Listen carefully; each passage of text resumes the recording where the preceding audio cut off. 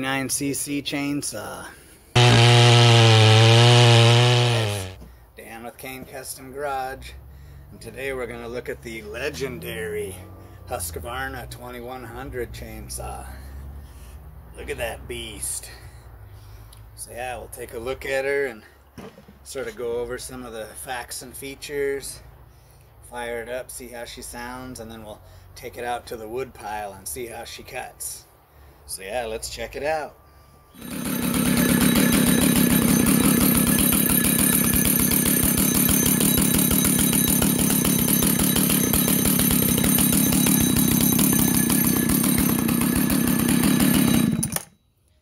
Ah, the distinct sound of the 2100. Yeah, this thing is so cool. It's got they got a pop to her. But yeah, so this is the uh, Husqvarna 2100 CD 99cc chainsaw. These were built from 1979 to 1987. And these were like the big boy back in the day. Lots of torque. And this one um, we're fixing up for one of our chainsaw buddies.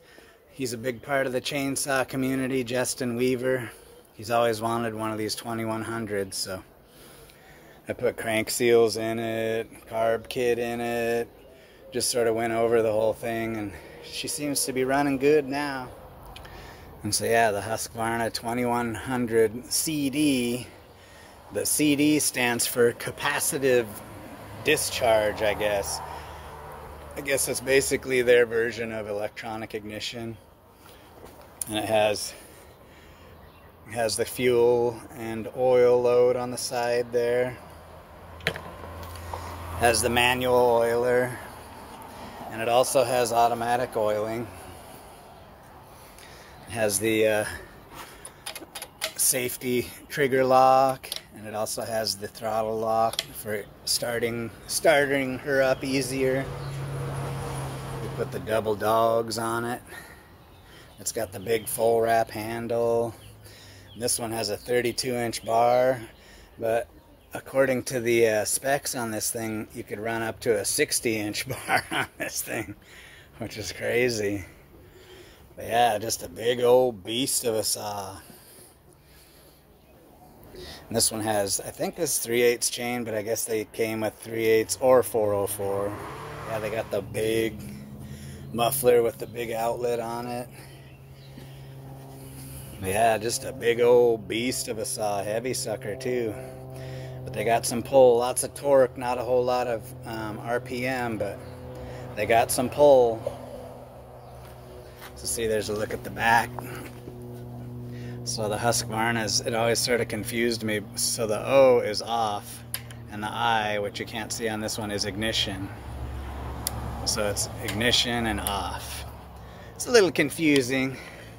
They could have just done an on-off switch, but that's how they did it.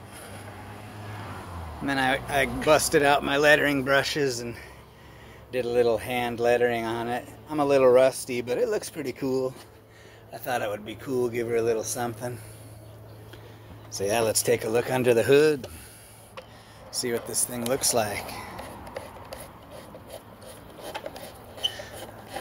And so yeah, we had to fix the plastics on this and repaint them. They're all busted and cracked. It's got a pretty good size air cleaner on it.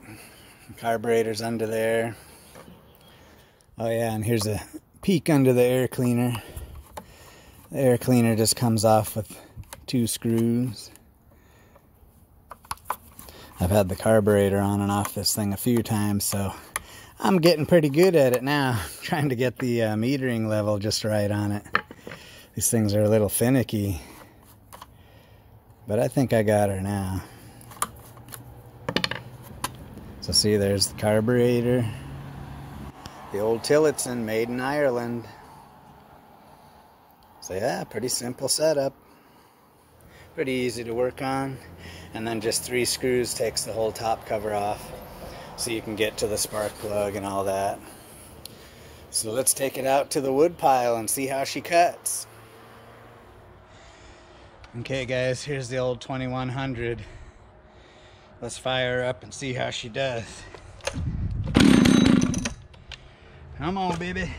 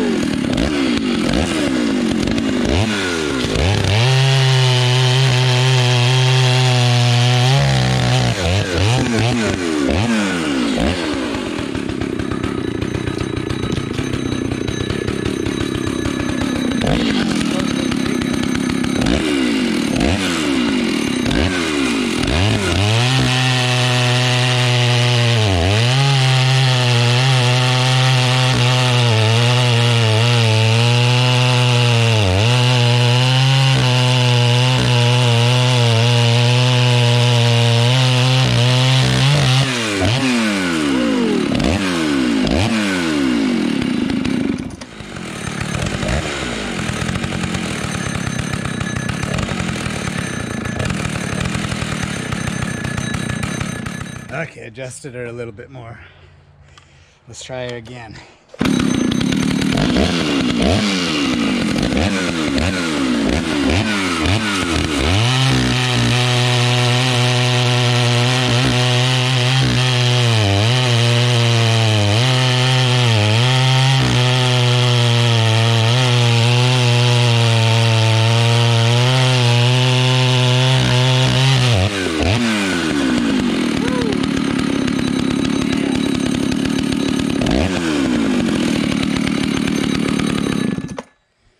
What a beast of a saw, guys. The old 2100. That is cool. And if you want to see another video, I have an older video of a 2101 that I had a few years back and it's basically the same saw but I think it's the newer version. I'm not even sure what the difference is on them really. But I got a video of uh, 2101 that I'll put a link to up above there if you want to check that out. So there it is, the legendary 2100, guys. Thanks for watching. And Justin, you lucky dog.